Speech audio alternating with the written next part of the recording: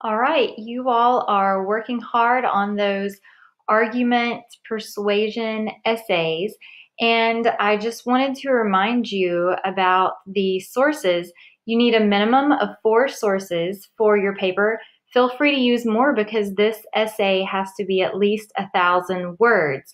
Two of those sources need to be journal articles from the library's databases, and you already know how to access those from the library quizzes that we worked on. And of course, at least one source needs to be from a book, and it would be great if that's an ebook, and you can find those on the library website as well.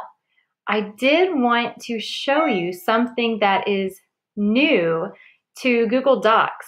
And Google Docs has included a brand new tool that I think we're all going to jump up and cheer for called Citations.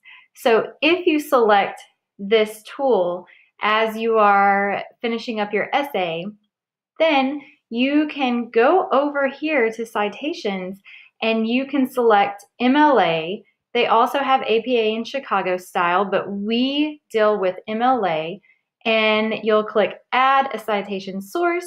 You will tell it what type of source that you are using. Of course, we have to have a couple journal articles and then those will probably be on a online database and then you'll have an author for the journal article most likely and you'll type in the author's name. You may have some contributors that helped.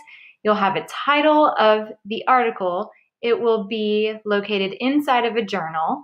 And then there might be a volume and issue, page numbers. There will definitely be a publication year, and then the database that contained the article, for instance, Galen or others.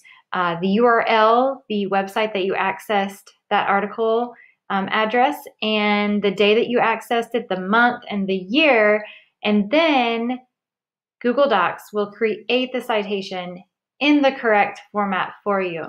I'm super excited about this. I know you are because I know how confusing it can be to learn to cite sources. And so using this neat tool on technology that we have is wonderful. So I encourage you to give this a try as you are writing these essays and let me know if you have any questions.